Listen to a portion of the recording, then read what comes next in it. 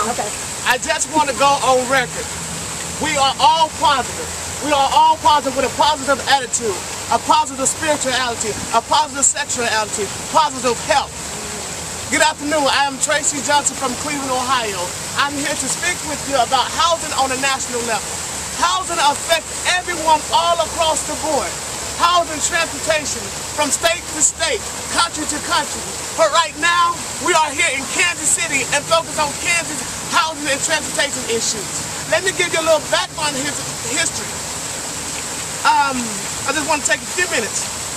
In 1993, the National AIDS Housing Coalition was founded. A coalition of national community-based organizations, individuals providing strong advocacy, representatives, thousands of communities, uh, community leaders, and social and health providers. Housing, we have shown and known cases that housing have improved health. Housing have improved mental Ill illness. Because if you don't have housing and you're homeless, then you're in a mental state of mind. Right. Without Right. housing, That's we right. will not be able to take our medicine. Right. Without sleeping from pillow to post. Oh, yeah. Oh, we will Right. be ill constantly, day in and day out. Oh, yeah. Housing is an important issue to us. Yeah. We need housing. Oh, yeah. We're not asking for a decrease or a budget cut. We're asking for an increase, Increase. in funding for our housing. This affects youth, young adults, older, all in between, black, white, no matter the race. Right. We have several people here in Kansas City today. One you just heard speak, you will hear two others speak um, in a couple of minutes. I just want to share a story with you. Um, it's a success story. There was a young man, about 15 years old, who was diagnosed with HIV. Not only was he diagnosed with HIV, but he was also homeless. Sleeping in parks, eating out of trash cans, sleeping to get a place to stay, selling his body to get a place to stay at night. But thanks to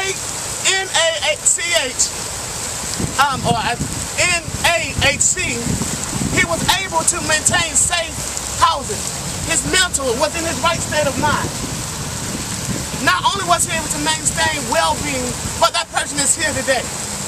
Here it is six years later, that person is here with us today. All right. Not only is that person is here, but that person is me. And I want you to know, because of housing and the funding of housing, I was able to go back to school and get my high school diploma and medical assistant certification. All right.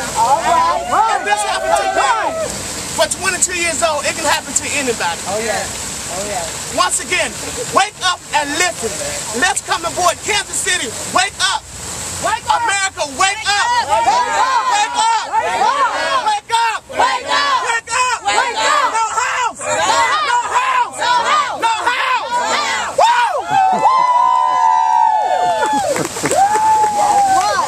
Woo! Good afternoon, Kansas City. Good afternoon.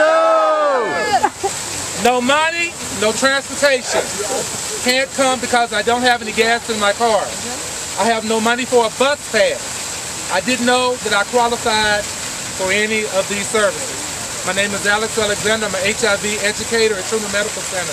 These are some of the things that patients tell me all the time. And I wanted to share that with you because the battling of the transportation issue is keeping them from accessing the medical care that they need. Right.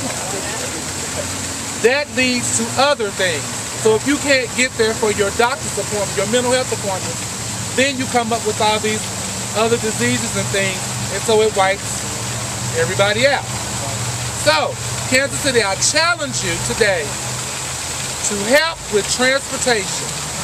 The mayor, Sly James, All right. new mayor, I want you to do something about transportation for HIV and AIDS patients in Kansas City, Missouri.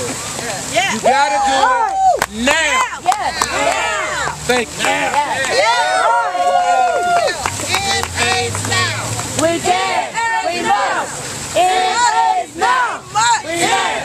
We must. It is now. All right. My name is Angie Keys. I'm from Kansas City. And I'm here today in the public saying we need housing. Yes. I've been positive in my community for the past 17 years. Some of my friends know, and some of they don't. For the ones that don't, today they will. Trish hit on stigma. She said all the things we go through as far as stigma. But I'm here to say, my community, we need housing. Basic needs. A basic need.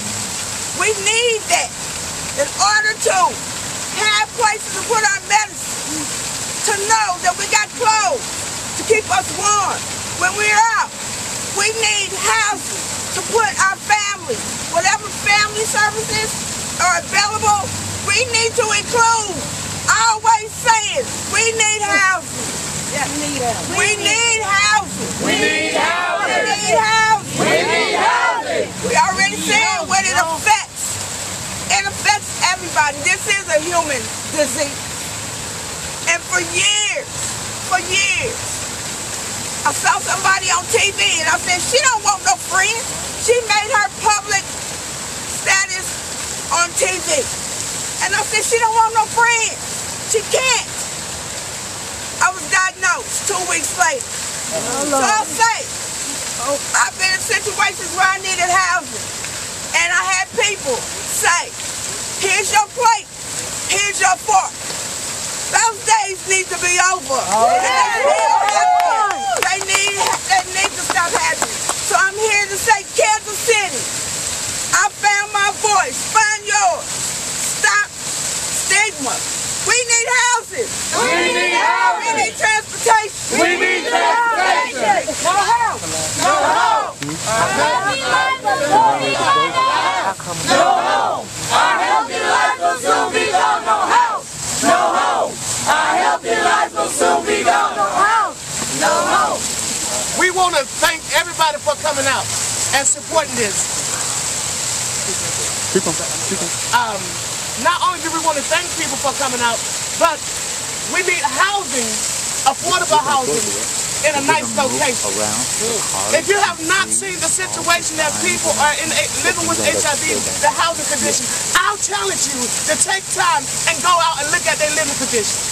Look at the place they are putting them in. You're living up in a high place while we living down here on poverty level, below poverty level.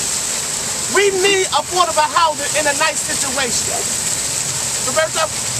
Yeah, it's like let's all start moving around on the other side of the fountain.